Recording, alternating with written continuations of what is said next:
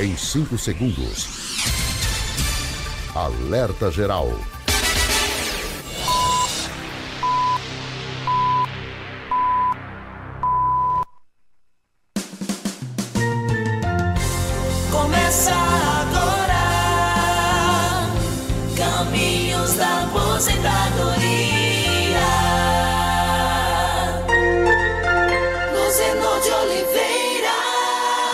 Estou aqui ao lado do professor Paulo Bacelar para receber a sua pergunta, a sua dúvida e levarmos informações para você sobre a área da Previdência Social. Quer saber quais os caminhos da sua aposentadoria? Ligue no Alerta Geral, fique em nossa companhia. No rádio e na internet, sua melhor sintonia. Todo sábado às sete horas, no início do seu dia. Professor Paulo Bacelar, seja bem-vindo, bom dia. Paulo Bacelar, o advogado popular. Bom dia, Luzenor. Bom dia a todos os ouvintes do nosso programa, querido. Estamos aqui mais uma vez para responder a todos os nossos ouvintes. Então vamos lá, professor Paulo Bacelar, porque a gente começa com- por Fortaleza com a dúvida do Paulo Henrique.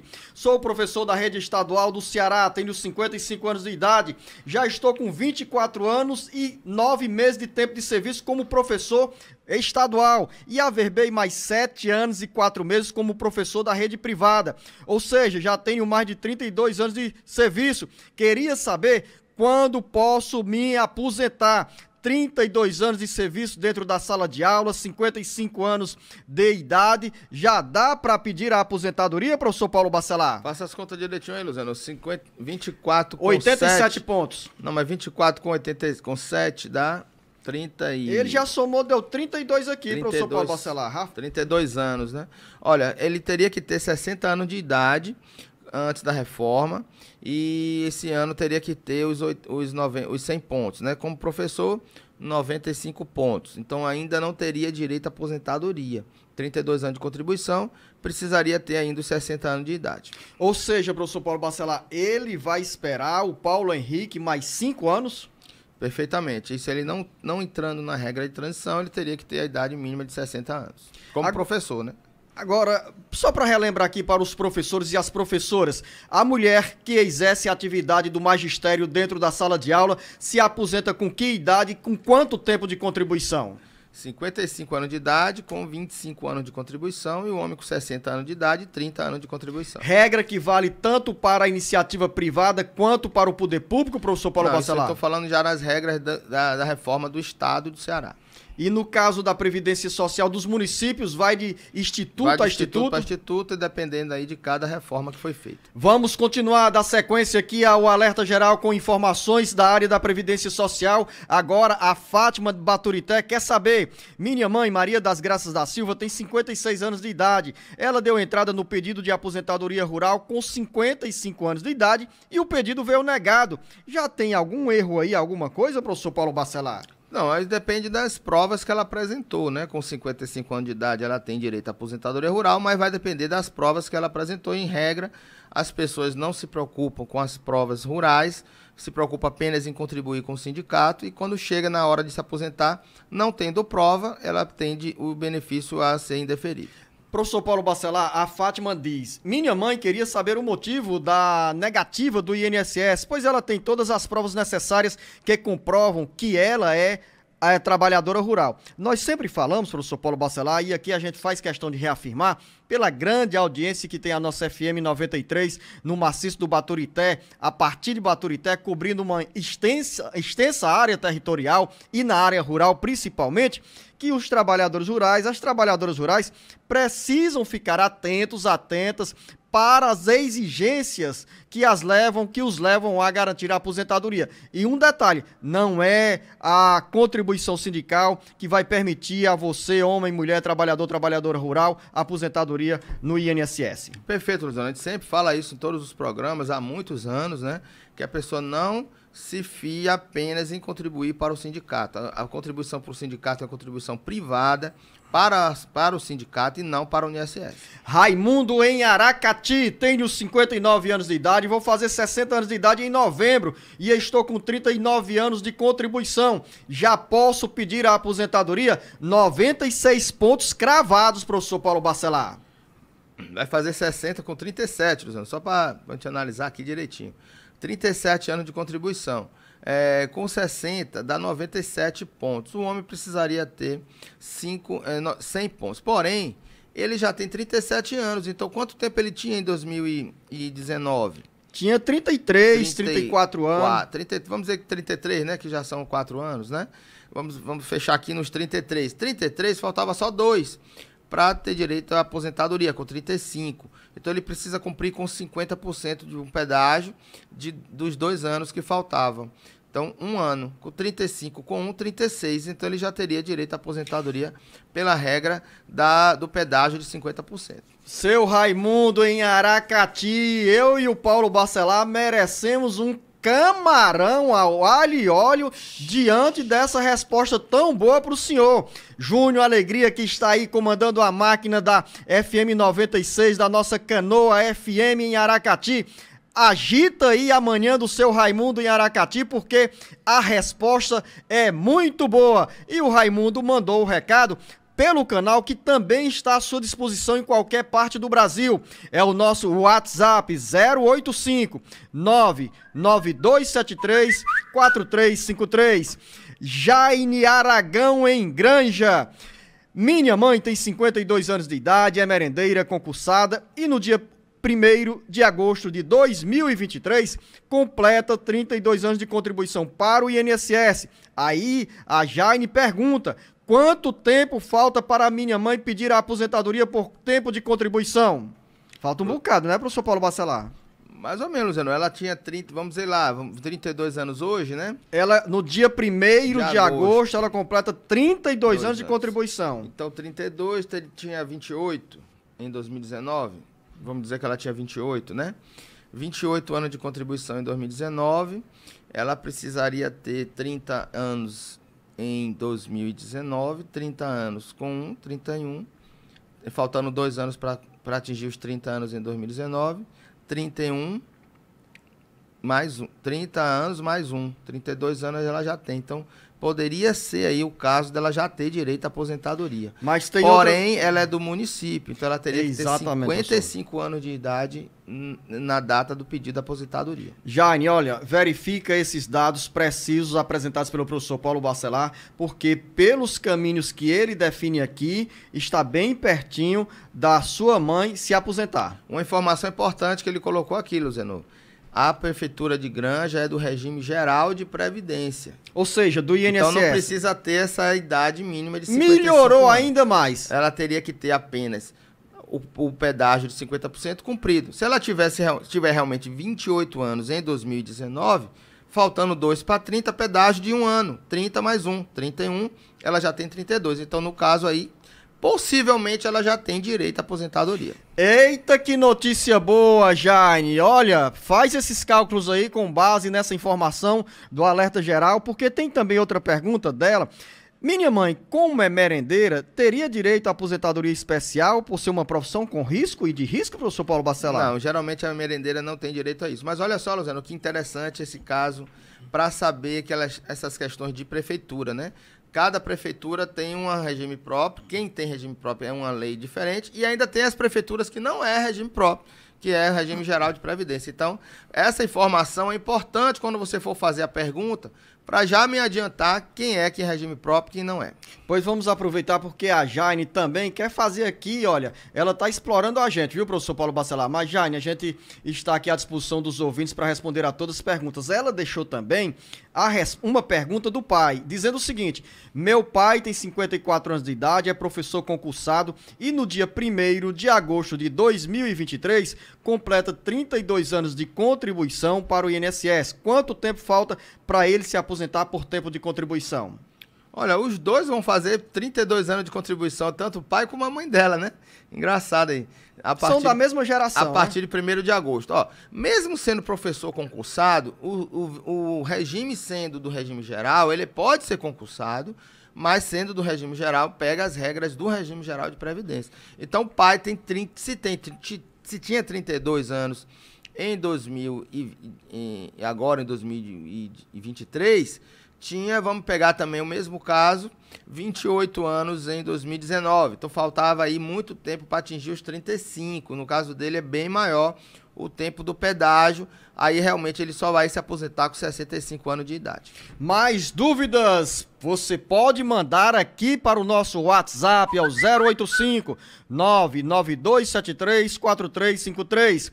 Raimundo em Fortaleza, gostaria de me informar dessa questão da aposentadoria especial dos vigilantes, professor Paulo Bacelar. Como funciona? Quais critérios precisam os trabalhadores, as trabalhadoras seguirem para garantir esse benefício, ou seja, a aposentadoria especial? Olha, o INSS, ele, ele considera o vigilante, a partir de 28 de abril de 95, como vigilante armado. Então, isso precisa estar no PPP para dizer se ele era armado ou não. O STF está em julgamento para dizer se pode ser considerado como especial o vigilante também o não armado. Isso ainda não está definido ainda na justiça. Mas para o INSS esse vigilante precisa ser armado. Então, se for armado ou não armado, o vigilante se aposenta com 25 anos de contribuição e 60 anos de idade, tanto para o homem quanto para a mulher. Islaí em Fortaleza, me acidentei no trajeto trabalho-casa no dia 29 de março de 2023 e me operei no dia 12 de abril. Dei entrada no pedido de acidente de trabalho em 15 de abril e no meu INSS só diz que está em análise. A licença médica é até o dia 12 de agosto. E aí, professor Paulo Bacelar, o Islaí pergunta: se não for resolvido até esta data, o que devo fazer? É, tem que entrar com, com mandato de segurança urgente após os 90 dias dessa perícia para que seja acelerado essa, essa análise do benefício, que deve estar em, peri, em acerto pós-perícia para poder analisar a questão dela depois da perícia. Nessa área tem também outra dúvida agora do João Batista em Sobral. Tenho 49 anos de idade e recebo um pequeno auxílio acidente. Quero saber se eu trabalhar em algum serviço de carteira assinada corro o risco de perder esse benefício, já que meu acidente foi no punho esquerdo, perdi 50% da capacidade de levantar peso. Por isso, quero saber se eu trabalhar em outra função mais leve de carteira assinada, eu vou ter esse benefício cortado? Perfeitamente, Luciano. Não irá cortar o benefício, porque o auxílio acidente é exatamente uma indenização que o INSS paga por causa daquele acidente que reduziu a sua capacidade laboral, podendo continuar trabalhando em outra atividade. Então, esse benefício é exatamente por isso que é 50% do valor que seria se fosse aposentado por invalidez, exatamente para a pessoa continuar trabalhando. Professor Paulo Bacelar, e neste caso, esse benefício que o João Batista recebe, outras pessoas que sofrem acidente, mas voltam ao mercado de trabalho, esse benefício é no valor da metade de um salário mínimo?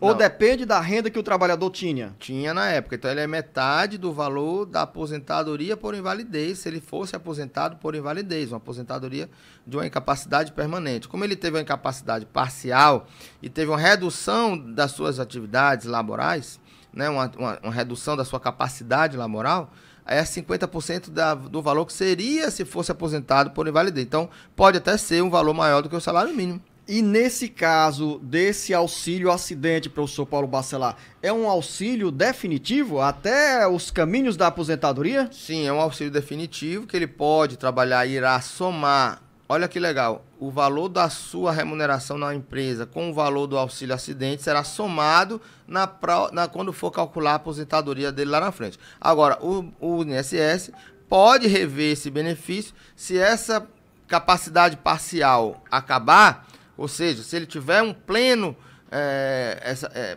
essa, a, a, condição dele passar a ser plena, ele podendo trabalhar em qualquer atividade, aí esse benefício pode ser cortado. Pergunta que vem de longe, mas a internet encurta os caminhos. Branquinha, em São Paulo. Tenho 64 anos de idade, recebo uma pensão por morte do meu marido e quero saber se eu posso correr atrás da minha aposentadoria. Nunca contribuí para o INSS, por isso estou em dúvida se tenho ou não direito a me aposentar. Esse benefício me atrapalha, ou seja, a pensão? Branquinha, fica atenta, bem ligada nessa resposta que o professor Paulo Bacelar vai dar agora explicação que é útil também para muitas outras pessoas que se encontram nessa mesma situação em que você vive hoje. É, Braquia, não, nesse caso, ele, se ela nunca contribuiu, não pode ter direito a, ao BPC, porque não é uma aposentadoria, já que você nunca contribuiu. Você teria direito a um BPC, mas o fato de receber a pensão por morte impede a concessão do BPC, porque os benefícios não podem ser acumulados. Ou seja, professor Paulo Bacelar, lembrando para você, ouvinte internauta, quem não contribui não tem direito aos benefícios pagos pelo INSS e não tem direito à aposentadoria. Daqui a pouco tem resposta para Maria Socorro em Trairi, Ana Cláudio em Redenção, Carlos em Maracanaú, Marlúcio em Pindoretama, Fernando em Juazeiro do Norte, Antônio em Fortim e também para Marcela em Maracanaú. O Ceará, Brasil e mundo ligados no jornal Alerta Geral. Alerta Geral. Caminhos da aposentadoria.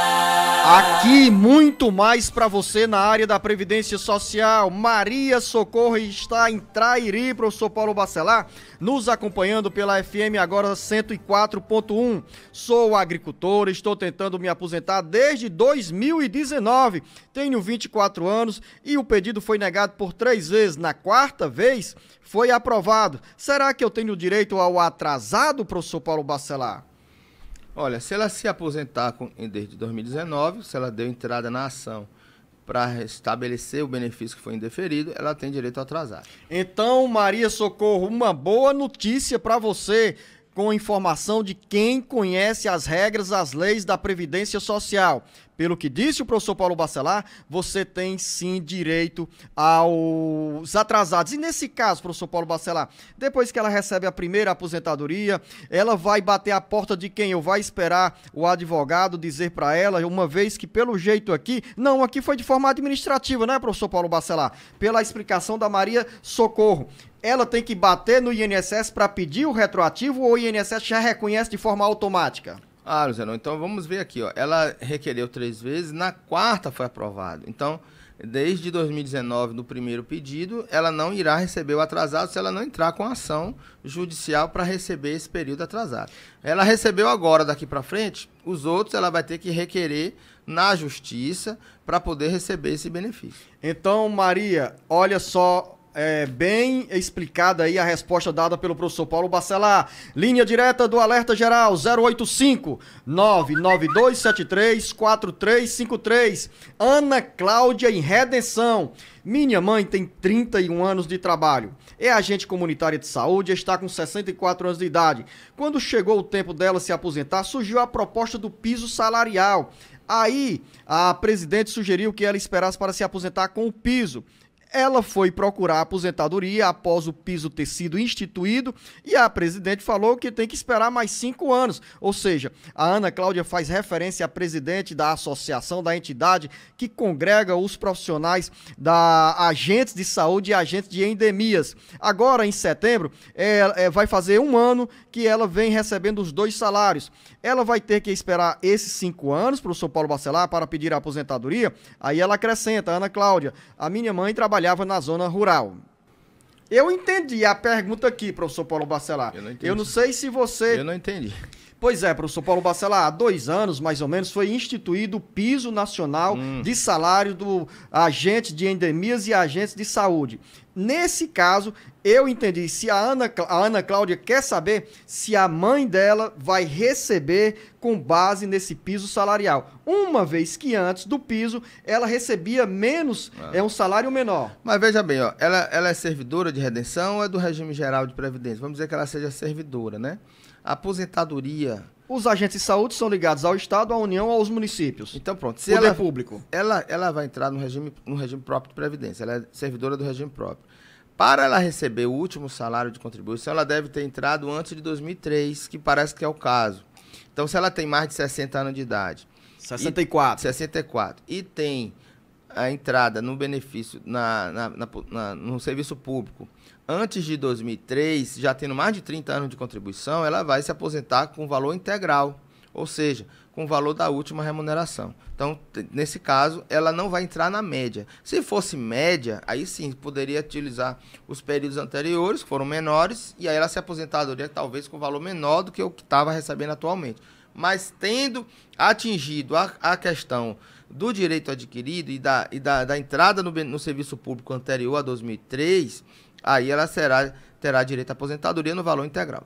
Ana, eu entendi bem direitinho o que o professor Paulo Bacelar explicou. Ou seja, se a sua mãe tem mais de 30 anos de serviço público, e nesse caso 31 anos de trabalho de no 60. serviço público e mais de 60 anos de idade, terá a aposentadoria garantida com base no último salário. Agora, ela fez uma pergunta também, professor Paulo Bacelar. Precisa esperar esses cinco anos? Não, se, ela já, se ela já implementou as condições para a aposentadoria integral após o pedágio, ela não precisaria esperar esses cinco anos. Se ficou mais algum questionamento, alguma dúvida, Ana, reafirma as perguntas aqui, porque eu e o professor Paulo Bacelar estamos à disposição para mais esclarecimento. Tem mais notícias, mais informações, mais perguntas chegando aqui, professor Paulo Bacelar. O Carlos está em Maracanaú. Sou contratado de uma escola e não tenho vínculo empregatício. Sou pela lei de voluntariado e gostaria de pagar o INSS. Já estou há quatro anos sem contribuir. Como devo voltar para ficar na condição de segurado?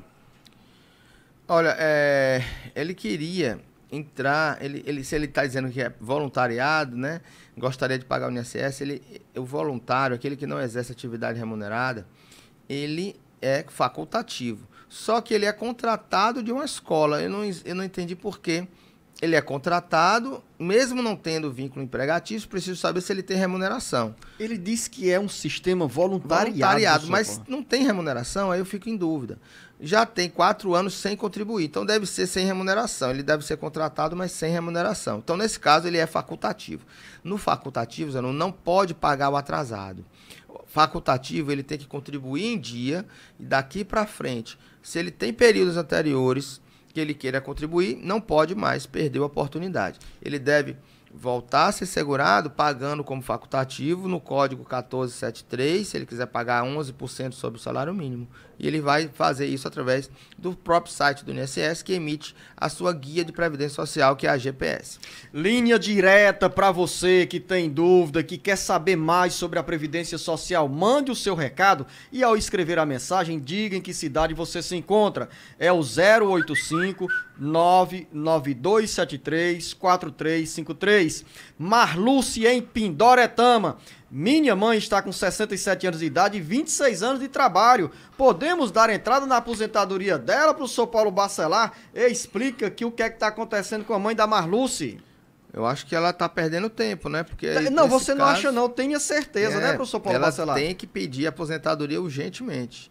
Já tem mais de tempo e mais de idade também para poder requerer a aposentadoria dela. Marluce, essa resposta do professor Paulo Bacelar foi entendida, foi dada como sendo interpretada a sua pergunta de que a sua mãe tem a carteira assinada e contribui para a Previdência Social. Porque, por exemplo, se ela for trabalhadora rural e não tem as provas devidas, ela não pode se aposentar. Mas pelo enquadramento aqui dessa pergunta, a gente está partindo do pressuposto que 26 anos de trabalho na carteira e com 67 anos de idade, Marluce, a sua mãe já perdeu 5 anos de benefícios para de benefícios pagos pelo INSS. E nesse caso não tem essa história do INSS pagar de Não, forma é retroativa da não, né, professor do- Paulo é Bacelar? Por isso que, quem, é que a gente fala que quem, no direito, quem o, o, o direito não, não aborda os que dormem, né?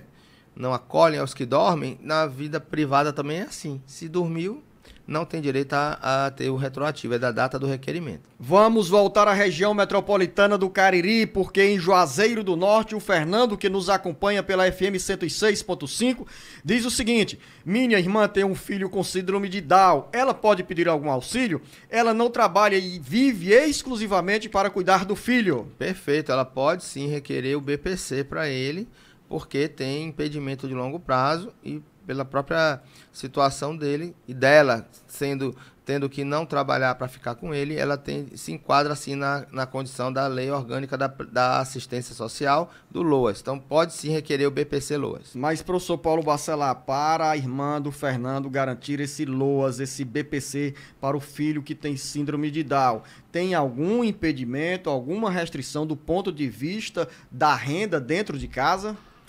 Sim, ela tem que ter a renda per capita familiar menor do que um quarto do salário mínimo. Eu já estou entendendo que ela vive com ele, né?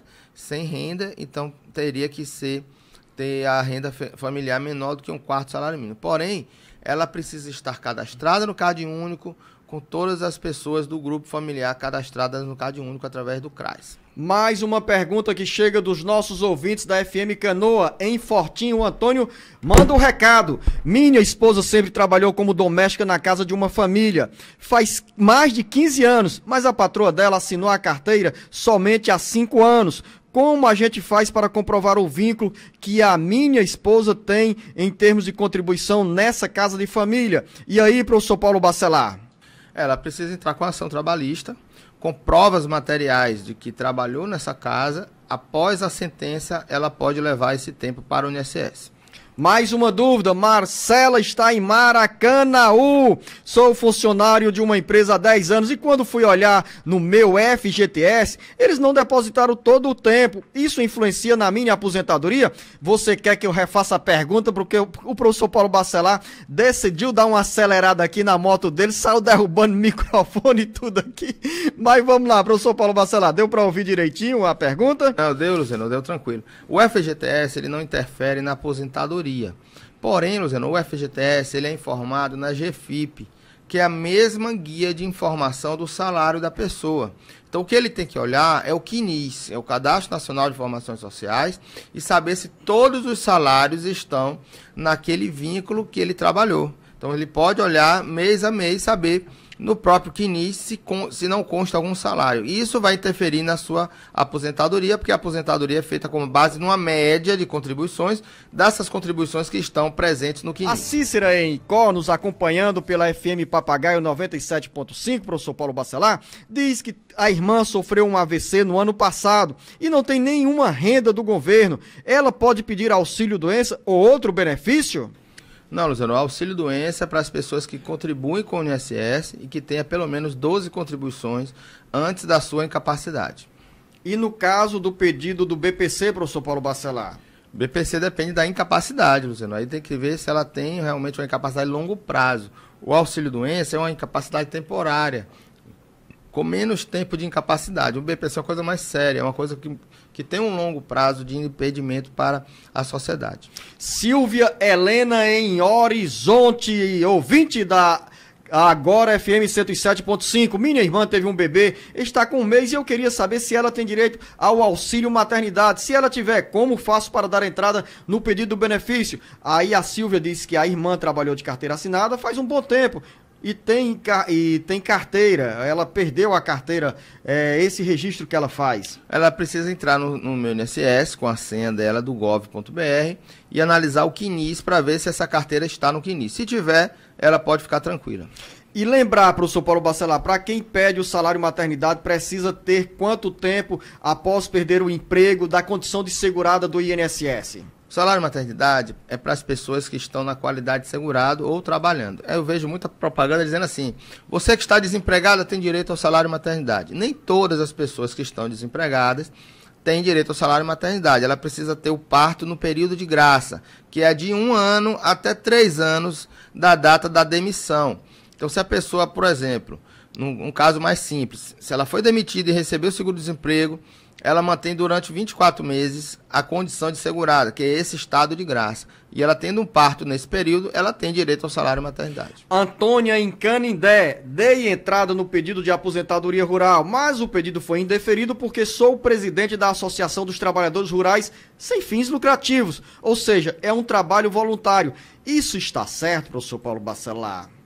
Claro que não. Se ele é, ele é presidente da associação, é Ela, claro, no caso, a Antônia. é, a aqui. Antônia, é claro que ela é trabalhadora rural, né? Então, é, isso aí serve até como prova do trabalho rural. Pode ser que ela não tenha tido outras provas, porque precisa comprovar um período de 15 anos de atividade rural. O fato dela ser presidente não prova só por causa disso, mas serve como prova também para mostrar que ela trabalha na, na atividade rural. É interessante essa sua explicação, professor Paulo Bacelar, porque vem à memória aquela ideia que a gente sempre- fala, olha, não é a sindicalização, não é o vínculo com o Sindicato dos Trabalhadores Rurais que garante a aposentadoria nessa área, na área rural. E também, professor Paulo Bacelar, é até um alerta que a gente faz, porque a condição de presidente de entidade da área rural também não pressupõe direito garantido para pedir a aposentadoria. Ajuda na hora de compor as outras provas, mas não aposenta e também não é impedimento geral para poder não,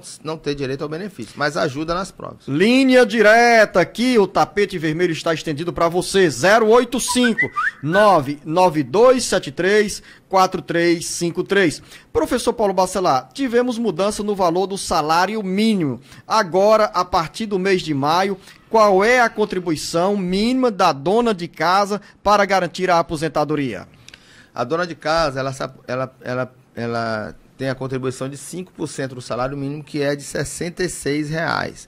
Então, no código 1929, 66 reais, porque é 5% do salário mínimo, já considerando o salário mínimo de 1.320 reais a partir de maio. E nesse caso, professor Paulo Bacelar, essa contribuição, como dona de casa, a garante todos os benefícios pagos pelo INSS? Hoje sim, não existe mais aposentadoria por tempo de contribuição, a não ser as pessoas que têm ainda uma regra de transição, né? Ela vai se aposentar com 62 anos de idade, com 15 anos de contribuição e os outros benefícios também ela já teria direito, como auxílio doença, pensão por morte, eh, auxílio reclusão, todos os outros benefícios. Professor Paulo Bacelar, ao longo desta semana eu fui questionado sobre contribuições do MEI, microempreendedor individual. Eu tentei explicar, mas quem conhece a lei é você. Aí eu falei, olha, além da contribuição do recolhimento que é feito sobre o faturamento da, do CNPJ MEI, para o proprietário que está na condição de microempreendedor, microempreendedor individual, há também a necessidade de contribuição como pessoa física para garantir a aposentadoria e os benefícios da Previdência Social? Ou vale apenas a contribuição MEI, CNPJ? O professor Paulo Bacelar tem MEI, contribui mensalmente ali, já está abrindo, abrindo os caminhos da aposentadoria? Sim, Luciano, o MEI é uma guia só e vai ter vários tributos, inclusive o INSS, que é de 5%. Ele vai pagar FG, é, o FGTS, não, ICMS, porque é, ele trabalha com produtos, né? Ele vai pagar uma- um valor fixo até de, de de ICMS e a Previdência Social e o SS. Então vai ter tudo isso numa guia só e ele já paga e é, automaticamente já é segurado e vai garantir a sua aposentadoria. Ou seja, 5% sobre o valor daquela nota fiscal emitida. Não, 5% é o valor exclusivo do INSS, que é 5% sobre o salário mínimo. Não é sobre a nota. O, o MEI, ele paga fixo esses valores, independentemente do que, ele, do que ele produz, do que ele gera de nota fiscal. Mas em cima, sobre um salário mínimo, é isso, em professor? cima sobre um salário mínimo. E é o tipo da contribuição que garante também todos os auxílios e a aposentadoria pelo INSS? Perfeito. Só não vai garantir a aposentadoria por tempo de contribuição, aquelas da regra de transição. 35 anos de contribuição, com a idade de 90 pontos, 100 pontos, aquela questão de regras de transição. Mas a aposentadoria por idade e os outros benefícios ele é garantido. Larissa em Catunda. Não me pergunte onde é que fica Catunda, professor Paulo Bacelar. Ô, Zenon, fica ali perto de Sobral, Zenon, na região norte do Ceará. Palmas para o professor Paulo Bacelar. A Larissa diz o seguinte: trabalho em um município através de uma seleção pública, engravidei e quando fui sair de licença, o advogado da prefeitura disse que eu não teria direito à licença maternidade por conta do contrato. Queria saber se realmente isso pode acontecer, professor Paulo Bacelar. Se ela estava contratada, tinha contribuição para a Previdência Social, não tem o que discutir. Tem sim garantido, garantida a licença maternidade. Sim, se ela for contratada, É, é, de, de, é, alguns casos existe um problema. O município não pode contratar, tem que concursar, né? Os regimes próprios de previdência não pode contratar de carteira assinada, tem que fazer concurso. Então, alguns casos desses, desses contratos são considerados ilegais e nulos pela, pela, pela Justiça do Trabalho. Então, ela pode ter os seus direitos garantidos, por mesmo tendo esse contrato nulo. Vânia, em Baturité, a trabalhadora rural que tem provas da atividade, quando engravida, tem direito ao salário maternidade? Com certeza, provando o exercício da atividade rural por 10 meses antes do parto, ela tem direito a receber o benefício. Maria em Guaraciaba do Norte. Sou professora desde 1994, tenho 54 anos de idade, sou do regime estatutário, mas no INSS só estão contribuições a partir de 1996. Já posso dar entrada na minha aposentadoria ou não? Você não pode repetir porque eu tava 1994, professor Paulo Bacelar, significa 29 anos de contribuição. Pode fazer os cálculos direito. 29 anos de contribuição. Aí ela diz que as contribuições só começaram a ser contadas a partir de 1996, ou seja, 27 anos de contribuição e 54 anos de idade. Nesse caso, 54 anos de idade, 27 anos de contribuição. Já é possível dar entrada no pedido de aposentadoria? Não, porque ela, ela fecha quantos pontos? 54 com 27 dá é, eu 81. Nem, eu, eu, nem vou somar pontos, porque ela precisaria 91, ter, professor Paulo Ela Marcelo. precisaria ter 30 pontos para começar a contar, a, a somar 30 pontos, pontos, ou 30 anos de, 30 anos de, de contribuição, contribuição para somar pontos para ver regra de transição. Então, ela não tendo os, os 30 anos, ela precisa ter os 62 anos de idade com 15 de contribuição, que é a regra geral. Quando ela completar os 30, Aí ela vai, vai contar com a idade dela para a gente ver na pontuação se ela já atinge a pontuação. Então, vai fazer 30 daqui a 3 anos, não é isso? 30 anos daqui a 3 30 anos é, daqui a 3 hoje tem 27. Com quantos anos? Vai ser 30 anos de contribuição com quanto de idade daqui a 3 anos? 57. Com 57 de idade. Com 30 dá 87.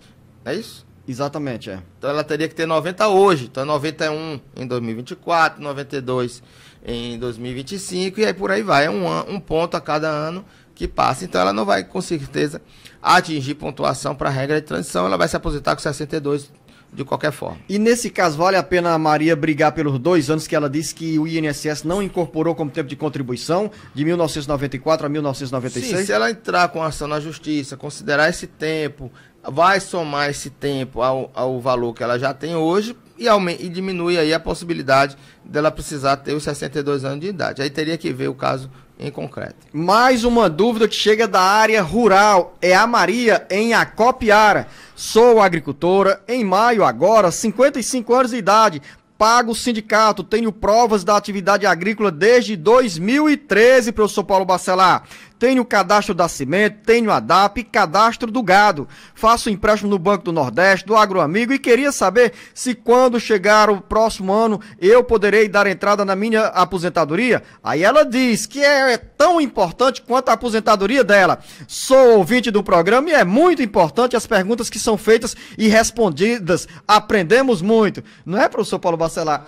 Esse comentário dela é tão importante quanto a pergunta. E mais importante, Maria, vai ser a resposta a ser dada pelo professor Paulo Bacelar. Ah, tenho certeza da importância aqui do nosso programa, Zenon, que a gente já está aqui há muito tempo e sabemos da responsabilidade que nós temos de falar para uma pessoa que na verdade não é uma pessoa, né? Várias pessoas a, a, a, aproveitam as perguntas dos nossos ouvintes. Bom, no caso dele, se ele se dela, né? Dela, Maria. Se ela está em essas provas todas, não tem como negar uma aposentadoria dessa. Quando é com DAP, com informações da terra, e ela vai preencher a autodeclaração rural, que é importante. Essa autodeclaração rural, ela está disponível de forma digital pelo meu INSS. Então ela pode ela mesma requerer o benefício dela de trabalhadora rural, preenchendo a autodeclaração rural, que é digital. Ela digita ali, Luciano, e já, já entra no sistema a sua autodeclaração rural, sem necessidade que hoje não é mais preciso a declaração do sindicato, que até 2019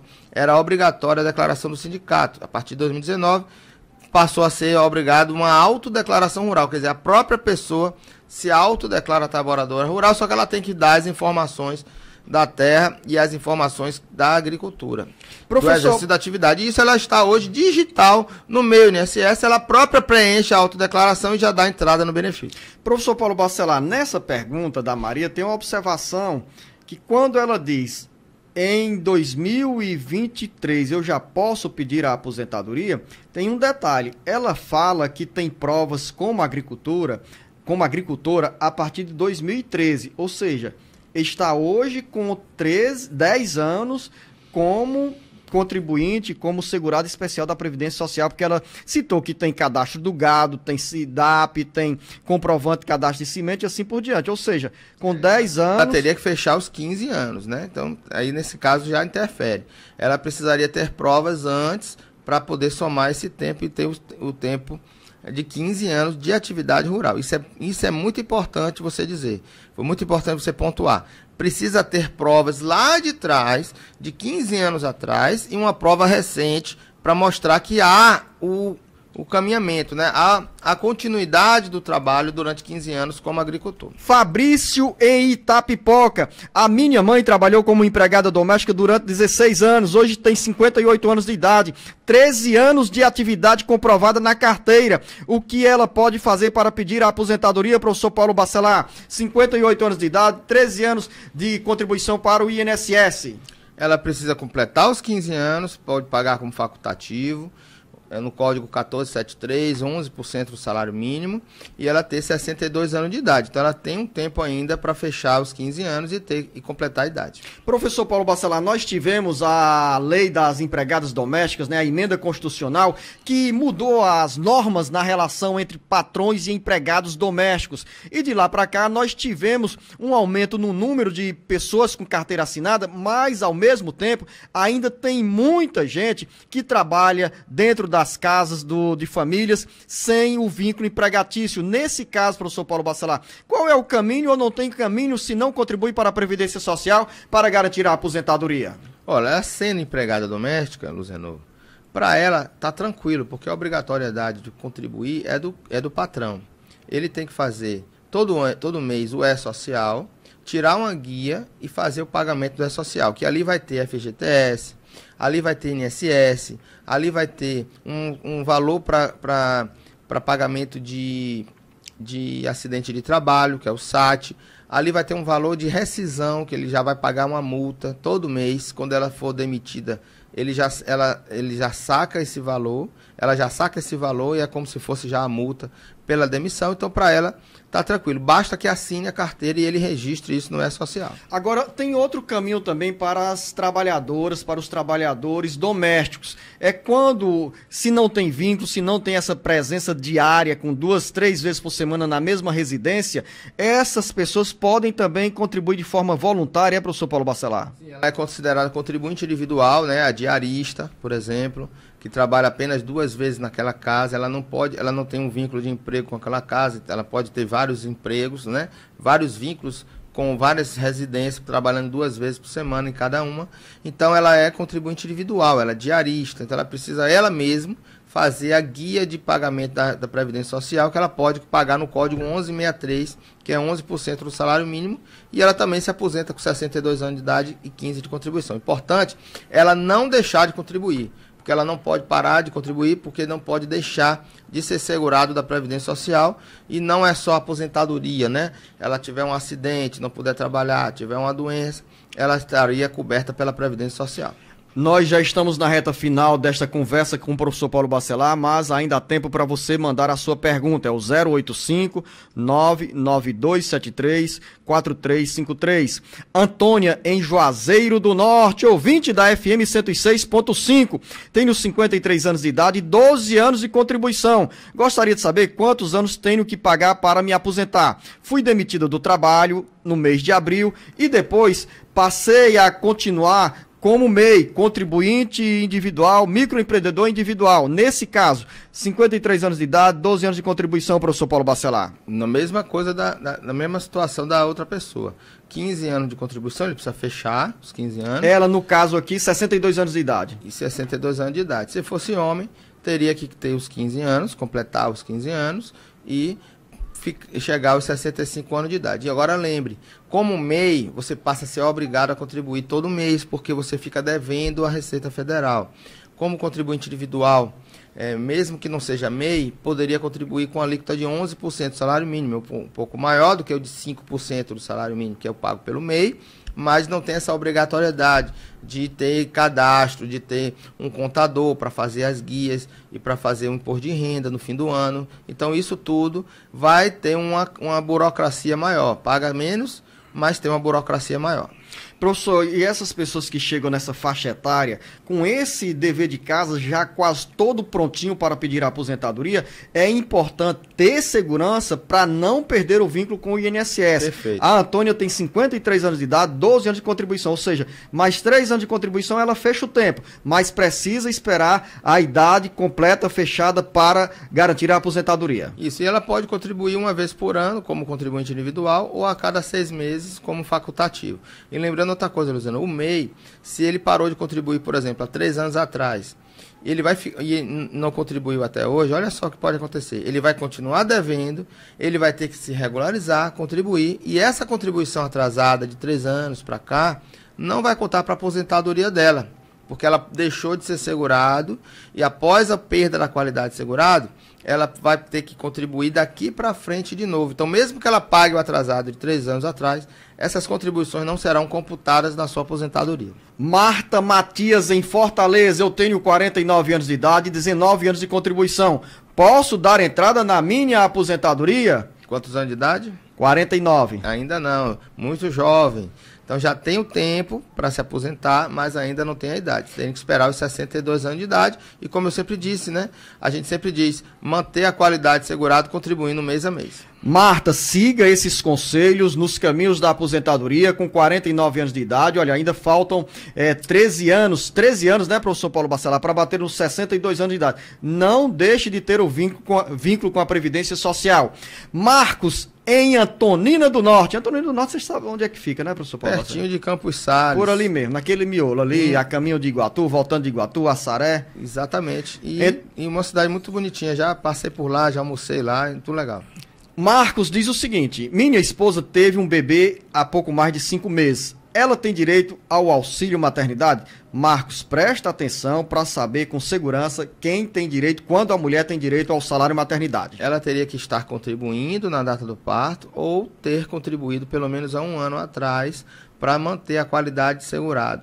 Muitas pessoas que são demitidas esperam ter um parto, por exemplo, ela deixa de ser segurada. Então, ela, às vezes, ela precisam contribuir um pouco antes para poder ter direito ao salário maternidade. Então, a pessoa ficou grávida, é bom saber como é que está a sua situação anterior para saber se ainda dá tempo dela contribuir.